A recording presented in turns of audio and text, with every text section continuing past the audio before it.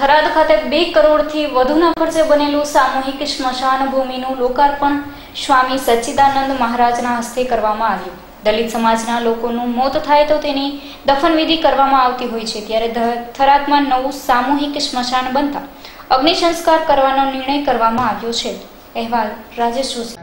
આજ રોજ થરાદ શહેરની અંદર સ્વામી સચ્ચિદાનંદ મહારાજની પ્રેરણાથી સાર્વજનિક સ્મશાન બનાવવાનું ઓપન કરેલ છે.